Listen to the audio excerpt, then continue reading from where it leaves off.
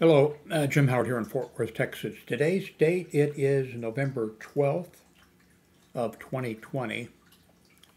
And you see this uh, headline on uh, the screen here.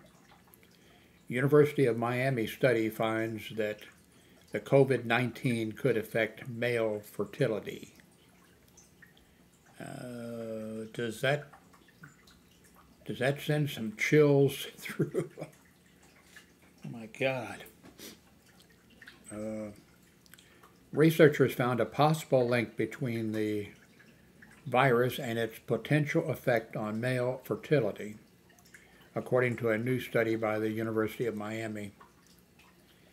NBC Miami reported that the researchers with the UM Miller School of Medicine conducted autopsies on six men who had, who had died of the virus. They found that some of the men had impaired sperm function.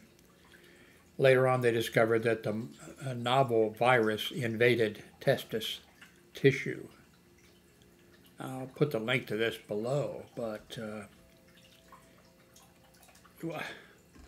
are we going to, if this were, you know, of course, if this is, this is one study, I guess, or two, I don't know. Uh, but there's an awful lot of men out there running around not wearing masks. If this, if this turns out, I shouldn't be laughing. If this turns out to be true, if it gets out there and is believed, uh, all of a sudden we may see every man uh, wearing a mask. So,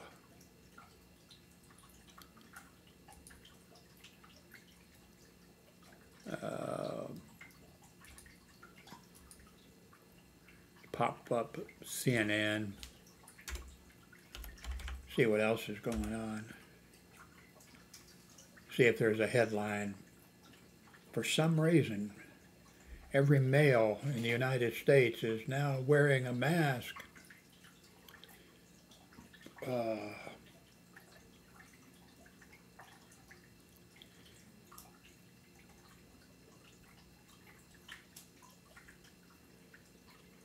well, with the virus, it doesn't look like there's any good news. Of course, I guess they uh, they're saying by April there may be a uh, vaccine for the virus that is 90% effective.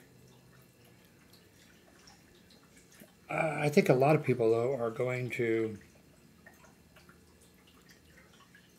because of the present, you know, because of the Trump administration and how he didn't have a good policy or any policy, and the fact that he had people in charge of it, like Mike Pence, and because he meddled in it, I think there may be, unfortunately, a whole bunch of people that when the virus is, or when the virus, hopefully not the virus, when the vaccine is available, maybe there'll be a whole bunch of people that are going to think, I think I'll wait.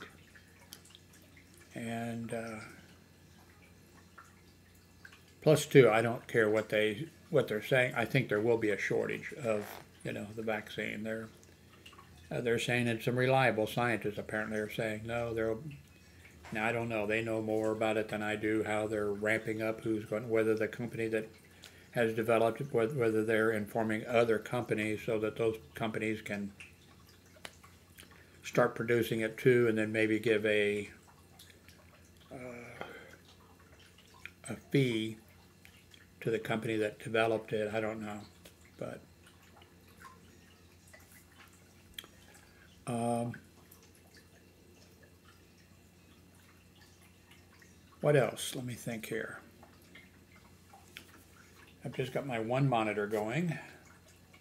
I went back to my regular speakers, did away with the, or put away the sound bar that I had. Um,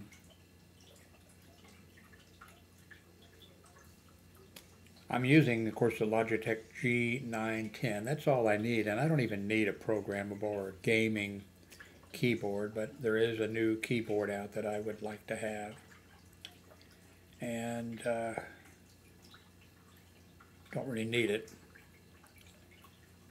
I'm running, of course, uh, Windows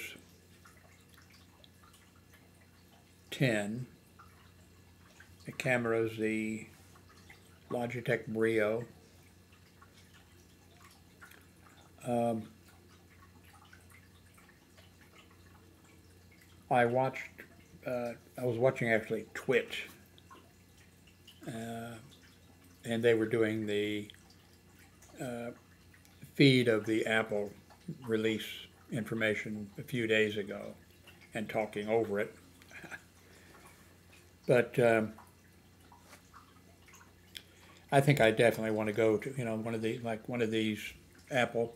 Although the pri- I think the price will come down on these little older ones, but I'd like to have uh, you know a Apple computer with the M1 M1 chip in it, or one of the other you know devices from Apple. So I definitely want to go to Apple when I can afford it. But I'm willing to look into um, one of the older devices that if it's a good price because they have the new ones out that are kick-ass ones. Anyway, thank you very much for watching.